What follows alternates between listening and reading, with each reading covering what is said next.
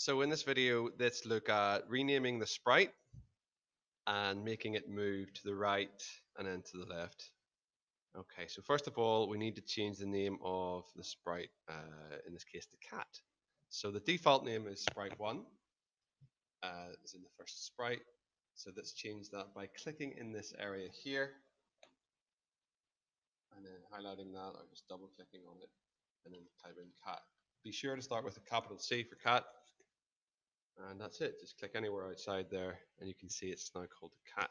You can see that down here as well. So the next part of our little coding exercise here is to make it move once this green flag is clicked. So let's have a look at making it move first of all. So if I bring this block it's a motion block. So if I bring this motion block by left clicking and dragging drop it into the script area or the coding area it it actually attaches this or makes the cat move when you double click the cat or sorry double click the the block okay? And then interestingly if you put a minus in front of that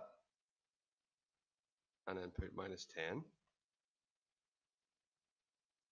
like so and then double click this block it will move to the left. So let's bring another one across. So move 10 steps makes it move to the right and move minus 10 steps makes it move to the left. So 10 steps to the left or 10 steps to the right. Okay so this added some automation here. So let's bring across when clicked.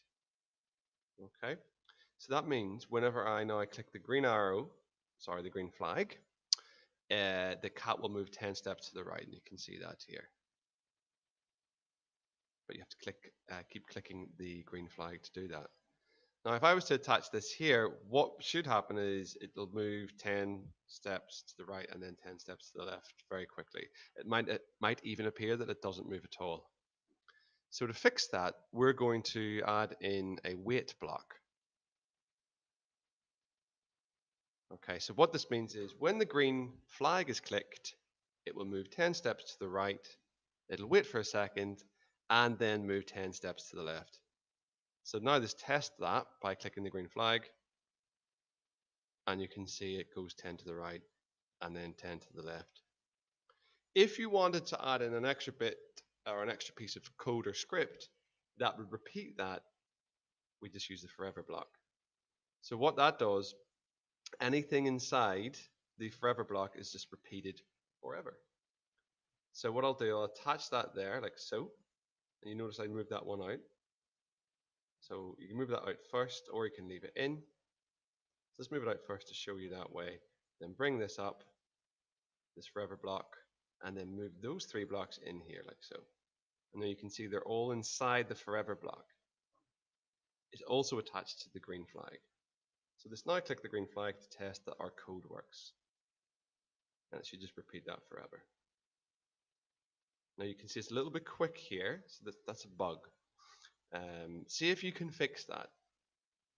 See which, it's actually all you need to do is reuse uh, one of these three pieces of code or scripts here. Okay, and then you just add that in so it doesn't have that little jerky motion at the end. And that's how we rename a sprite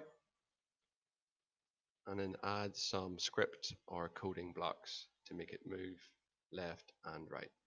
Thanks for watching.